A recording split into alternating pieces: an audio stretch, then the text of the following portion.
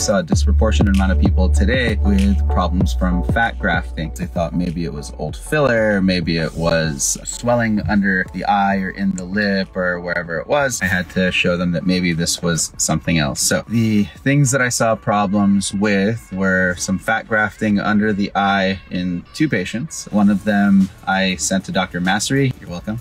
so it's a difficult thing to fix. That's fat grafting under the eye. The other one was fat grafting in the lip, and the other patient had fat grafting in the chin. What went wrong? So first off, let's talk about fat grafting. Fat grafting is a very, very nice tool to use, but by no means is fat grafting inherently natural just because we take it from your body and put it into your body. You're taking it from your ass and putting it into your face. And I've said this many times, there's nothing about ass to face that's natural, or stomach to face, or thigh to face. These aren't natural things. We use them because we can benefit from them, but it's not a purely natural thing to do. So that means that things might go wrong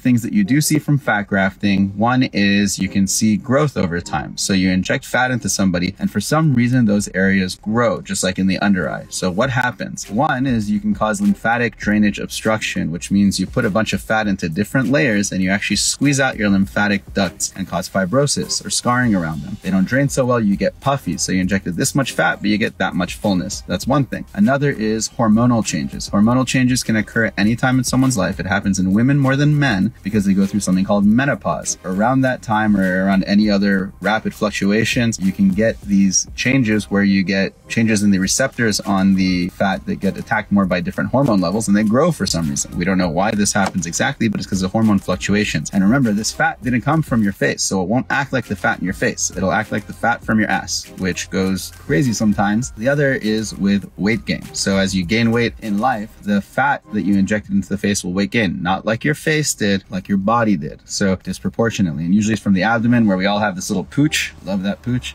Hate that pooch. But that isn't what it's going to grow like. So we have to take all these things into account, including another thing called fibrosis. So when you inject fat into the face, it causes an inflammatory reaction. This might do nothing. This might benefit you because you have little stem cells that are released from it. And it might have a negative effect where you cause granulation tissue formation, just like if you had injected Sculptra, which means you inject fat and then you actually gain volume, not because the fat grew, but because you formed little balls of granules around it. So you injected that much fat that turns to that much because you have scar tissue within it now. So all these things can happen with fat. Fat's a lovely thing though. You just have to know how to use it. You have to inject it deep in certain areas, avoid surface irregularities, and always think about the future. What if all this fat lasts? What if this person gains weight? All that stuff. In this patient with the under eye issues, the person who had injected it almost certainly injected into the wrong plane. They didn't go down into the SOOF or down onto that bone where you can palpate. They tried to get too much of a correction and thought it was a healthy thing to do and injected deep to superficial. That is going to cause a problem more often than not. If you inject it like we do, you go down deep and you inject tiny little bits and you're totally fine. And you can mix it with PRP to make the fat even take better in some people. As far as the lip goes, this is the fun part. The lip is not a good place to inject fat. That is a statement coming from me, who's a lip specialist. So you can listen to me or you can listen to the non-lip specialist. It's, you know, it's up to you. Do whatever you like. But I'll tell you, fat in the lip is extremely difficult to control, and there is no natural fat plane that exists in the lip. Ask a doctor, is there a natural fat plane in the lip? If they tell you yes, it means they don't know the anatomy of the lip. The vermilion, which is this area over here, is mucosa, which is the pink. It turns into a different kind of mucosa on the inside that has, rather than keratinized, just regular squamous epithelium. And then deep to that, you have something called submucosa with lamina propria. This is your cushy layer that is similar to the SMAS. Below that is your orbicularis muscle, and that's all you got. There's no fat there. If you go into the upper lip philtrum, you have epidermis, dermis, which is like that big. You have your SMAS, which is that big. And then you have your muscle, which is also that big, similar size in most people, a little bit bigger than the SMAS. So the SMAS itself is your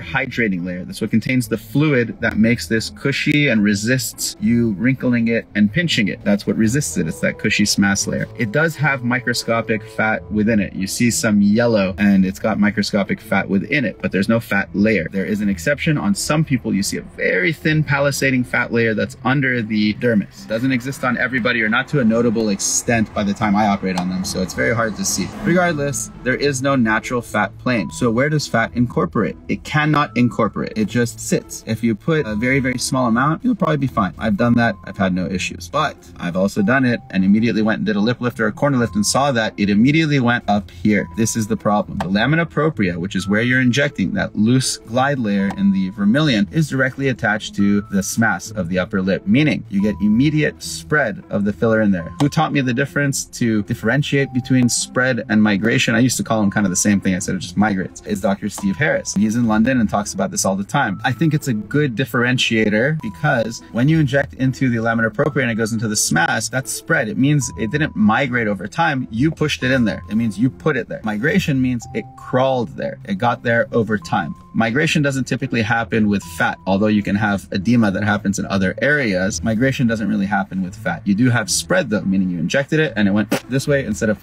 that way. That's fat. So when you inject fat into the lip in large globules, it can travel inside and spread or it can travel upwards and spread in the vermilion. These can both happen. When I inject fat into the upper lip, I do the tiniest amount and I turn it into microfat. I break it up. I actually hope sometimes it doesn't survive. I just want to give a little rejuvenation to it and get it better hydrated. Sometimes I break up the fat into nanofat and now we're talking. You take nanofat, which is stem cells of fat or adipose derived stem cells, and you break up the fat, turn it into a liquid, mix it with PR, and you can inject that into the upper lip philtrum, or you can inject it into here and the lip will look healthier. As we age, you'll see some people get darkening along this area of the mustache line and they get indentation or a shadowing. This happens with age when the SMAS thins. It also happens after a dissolver on some people. You can actually regenerate that or get it better in most people with just doing nanofat PRP injections in there and doing a little CO2 laser to stimulate it. That seems to work really, really nicely, but I do advise patients, doctors especially, be very careful injecting fat into the lip. You have a high chance of causing irregularities that are difficult difficult to fix. And to fix them, once they migrate up here, you have to go from a lip lift to get to it, or you have to go through a direct vermilion incision. And it's very difficult because once you do it and remove that fat, everything else deflates and collapses. So it's never a easy, nice thing to do. It's very inflammatory and people can get swollen for a very long time. So don't do things you can't fix. Fat injections are one of those things where they're very difficult to fix. So when you do it, you better do it right. Do it conservatively and do it in the right areas. Do it where fat planes naturally exist. Okay. So there's areas in the face, although it's a different fat we're injecting fat naturally exists, fat can incorporate in there and replace fat atrophy or fat loss. I would be very cautious to put it where fat naturally doesn't exist very much. Another thing to think about is buccal fat. If you ever take it out, don't just throw it away. It's a very valuable, smooth, stem cell rich fat that's naturally occurring in the face. It's a beautiful fat to mince up just a little bit because it'll explode if you mince it too much and not last. Put it into a syringe and then directly inject it into around the eyes where it matches the orbital fat, or you can do it in the cheeker areas like that. So that would be